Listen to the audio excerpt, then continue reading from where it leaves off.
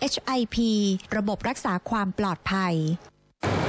ดิฉันอยู่ที่งานสัมมนาบทบาทของอินเทอร์เน็ตความเร็วสูงต่อ telecommuting ค่ะ ซึ่ง telecommuting เนี่ยนะคะก็คือการที่เราใช้อุปกรณ์คอมพิวเตอร์ ไม่ว่าจะเป็นคอมพิวเตอร์โน้ตบุ๊กเป็นสมาร์ทโฟนหรือว่าเป็นแท็บเล็ตแล้วก็เทคโนโลยีสารสนเทศมาช่วยให้เราทำงานที่ไหนก็ได้ หรือว่าทำงานนอกสถานที่รวมไปถึงที่บ้านที่เราเรียกกันว่า work from home ค่ะ ซึ่งแต่ละองค์กรเนี่ยอาจจะให้พนักงานทำงานแบบนี้ 1-3 วันต่อสัปดาห์ หรือว่าจะเป็นทั้งสัปดาห์เลยก็ได้นะคะ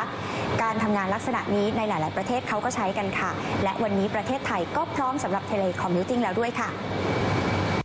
ยุคนี้เนี่ยเป็นยุคที่เหมาะสมมาก เนื่องจากว่าประเทศไทยนั้นมีการสื่อสารทางอินเทอร์เน็ตได้ทั้งทางแบบมีสาย แล้วก็แบบไร้สาย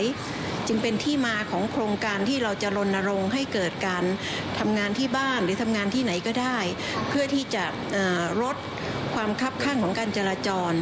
การเผาผลาญน้ำมันก็น้อยลง ในจ้างก็สามารถที่จะลดพื้นที่ที่ใช้ทำสำนักงานลงได้ แล้วยิ่งมาถึงออฟฟิศเนี่ยก็มานั่งอยู่หน้าจออยู่ดี เพราะฉะนั้นย้ายจอแล้วก็ใช้เชื่อมโยงด้วยเครือข่ายอินเทอร์เน็ตความเร็วสูงเนี่ยก็นั่งทำงานที่บ้านได้ โดยไม่ต้องเดินทาง ประสิทธิภาพก็สูงมากขึ้นด้วย What are the key issues that we have to concern if we decide to apply the work from home policy to our organization? Well, there are a number of issues to think about. Um, on the technology side, you need to think about uh, does your network have the capacity to deal with the increased amount of data?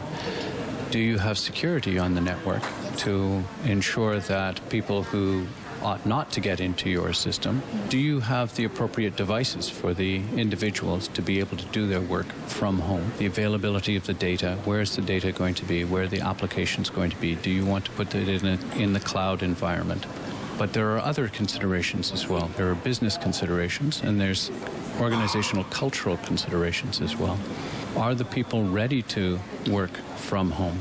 Have they been trained on the new devices that would be required to access the system? Have you changed the way in which you will monitor the performance of the individuals?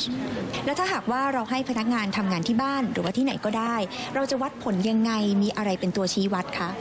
ผมคิดว่าคำหนึ่งคือคำว่า KPI คือ Key Performance Index หรือ Indicator ครับ คงต้องเป็นการตกลงระหว่างหัวหน้ากับทีมงาน เพราะว่างานแต่ละงานก็จะมีตัวชี้วัดที่ต่างกัน แต่สุดท้ายมันต้องตกลงร่วมกัน และมันก็ต้องไปลิงก์กับตัวเป้าหมายใหญ่ขององค์กรด้วยเหมือนกัน แต่สำหรับการทำงานที่ไหนก็ได้ หรือว่า work from home หรือทำงานจากที่บ้านแบบนี้นะคะ ก็ไม่ได้เหมาะสมกับทุกตำแหน่งนะคะ ก็ต้องดูเป็นกรณีไปค่ะ และในส่วนของประเทศไทยนะคะ เราก็ยังจะต้องพยายามทำให้เป็นระบบ แล้วก็จะต้องดูให้เหมาะสมกับบริบทของคนไทยอีกด้วยค่ะ